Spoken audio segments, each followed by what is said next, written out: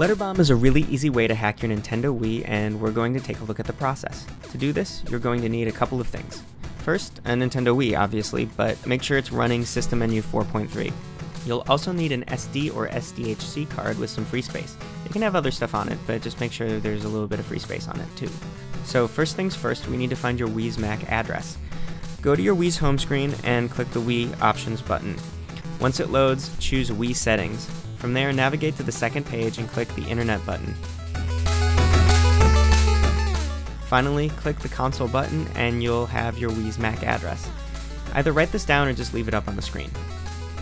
Now get on your computer and go to http colon slash slash please.hackmii, that's me with two eyes, dot com, and enter your Wii's MAC address. You'll also need to type in what you see in the CAPTCHA image. Once you've filled both things out, cut the red or the blue wire, it doesn't really matter. This will generate a letterbomb.zip file that will start downloading.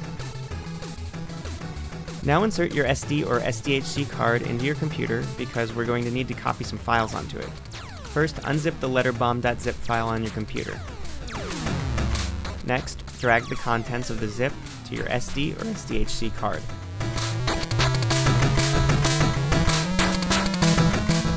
When it's done copying, eject it and put it in your Wii. Okay, so back on the Wii, head on over to the Wii Message Center. There's going to be a new message for you with a bomb on it. But where that message is going to be will depend on your time zone and when you generated the zip file we just dealt with earlier. In most cases, it will be in yesterday's mail, but it could be today or a couple days ago. You'll know when you see it, it's going to have a really big bomb on it. When you are ready to pull the trigger, just click on the letter bomb message icon. The process will take a few minutes, but be patient. You'll have a hacked Wii when it's done.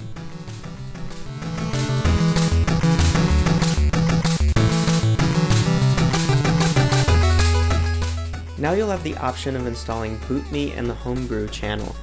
To do this, just choose the options on screen to install where you want to install and you'll pretty much be able to run anything you want on your Wii.